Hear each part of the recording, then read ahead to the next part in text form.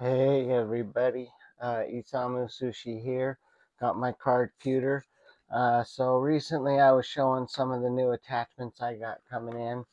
Sorry, I lost my sheet of paper. Um, now I'm still working on my antennas, uh, but just to give everybody idea, uh, the short uh, wires I got, uh, 10 pack was 395. The uh, splitters, the T splitters, five pack was 650.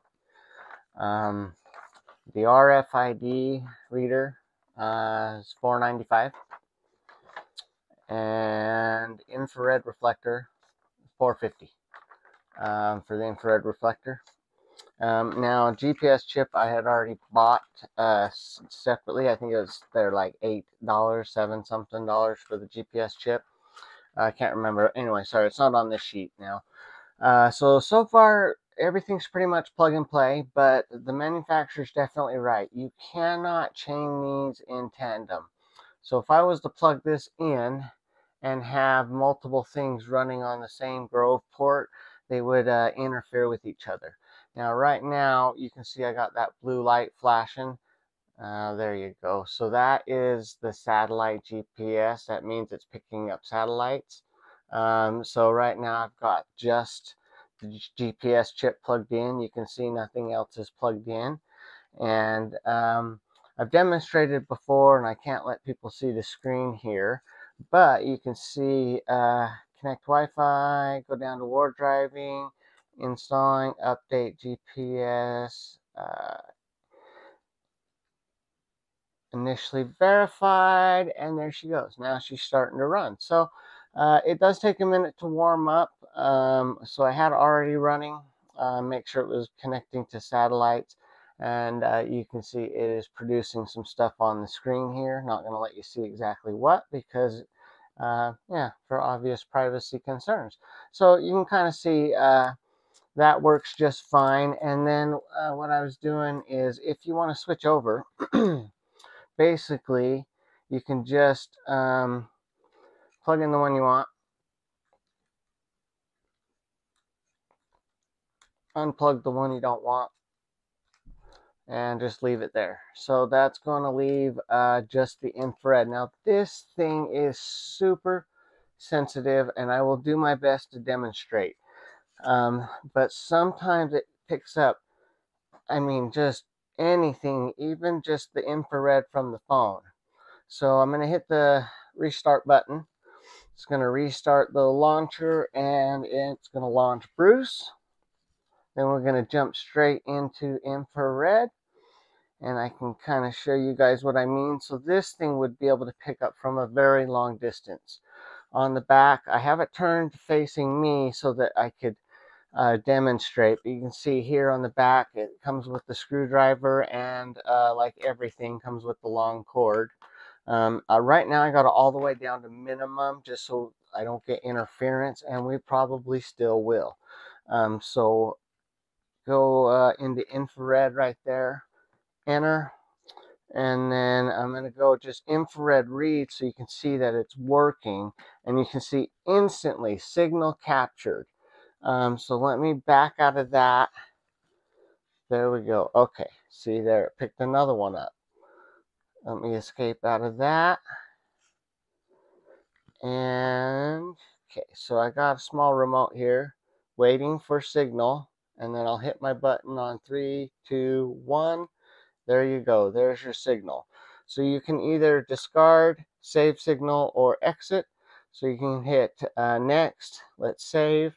You can just button zero. You can label what you want it to be, hit OK, and then it's waiting for signal again. So on three, two, one, boom. There's the signal right there. Um, you can go in, let's see, save. Button number two, OK. Emulate. So basically, you can capture infrareds, save them, uh, emulate them, and uh, oh, see, I just got another one. And go, uh, you know what I mean and that kind of demonstrates your infrared.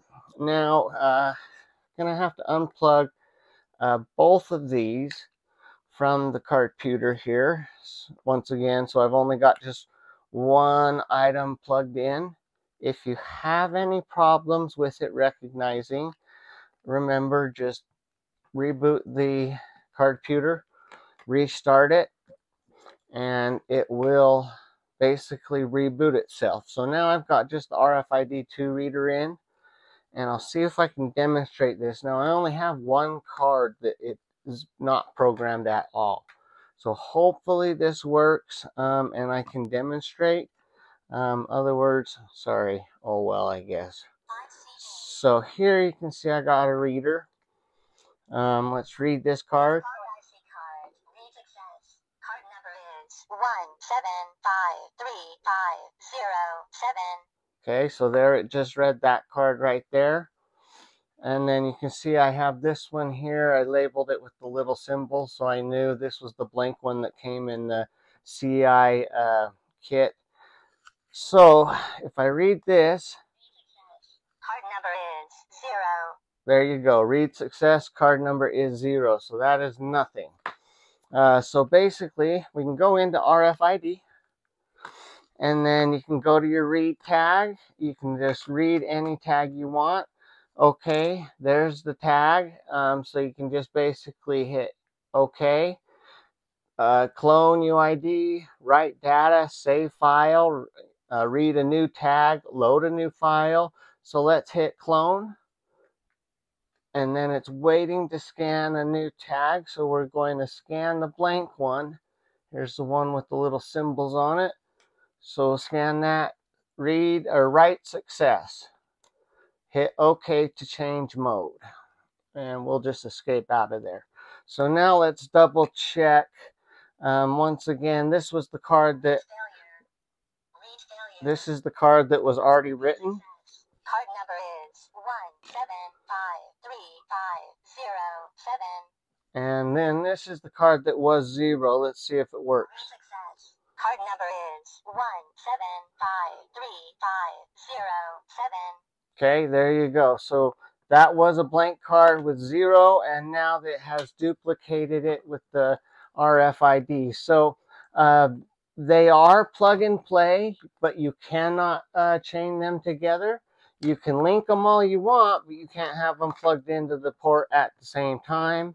And then you're gonna, sometimes you're gonna have to restart your uh, card computer. That's normal anyway. Even with the Flipper Zero, you just have to restart it all the time. If you're going into one type of program or setup, and then you go to a completely different type, a lot of times you're gonna have to restart the the entire system. It's just kind of the way things seem to work on these um, ESP32 chips.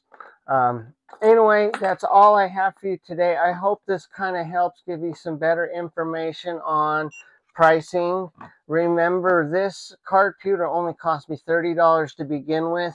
And then I think it was 8 or $9 on GPS chip. Um, infrared, uh, I paid 450 RFID 2 unit, 495 10 of the short wires was four bucks. Um, you got the five T Grove connectors was 650. Now here's your expensive part are your antennas. So I'm still working on those. I'll get back to you. So hopefully more content to come. And this gives you a little idea of what you can do with the card computer. You do need a little bit of extra stuff uh, but it will do everything you Flipper Zero will do at a lot cheaper price. Um, I kind of like this thing better. It seems to run faster. The color screen is nice. It is a little small, obviously, but you know, it's the way things go with these. And then I did notice that these do drain your battery quite a bit. Uh, luckily, the thing is so small. If you're doing some war driving, you can just snap the one unit to the back, put it in your pocket with a backup battery plugged in or something, and you can run it basically eight or nine hours or more, depending on the size of the battery you are plugging into it. And if you've got a full charge on the two batteries that are already in there.